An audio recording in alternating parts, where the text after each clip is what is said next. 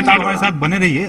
आलोक जी ये जो तस्वीरें हैं और जिस कैमरामैन ने इसको दिखाया है देखिए कितना बेहतरीन दृश्य है कि उस प्लेन पे हम इसराइल का भी झंडा देख सकते हैं और इंडिया का भी देख सकते हैं। ये विजुअली हम देख रहे हैं कि किस तरह से जो रिलेशन है इंडिया और इसराइल के वो नहीं बहुत अच्छा सिंबॉलिक जेस्चर है।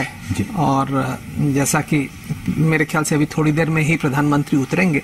और जैसा अमृत जी ने कहा रक्षा क्षेत्र में भारत और इसराइल के जो संबंध हैं बहुत ही सुदृढ़ इनफैक्ट पिछले कई सालों से जो भारत और इस- इसको दिखाया है। देखिए कितना बेहतरीन दृश्य है कि उस प्लेन पे हम इसराइल का भी झंडा देख सकते हैं और इंडिया का भी देख सकते हैं। ये विजुअली हम देख रहे हैं कि किस तरह से जो रिलेशन है और इंडिया और इसराइल के वो नहीं बहुत अच्छा सिंबॉलिक जेस्चर है।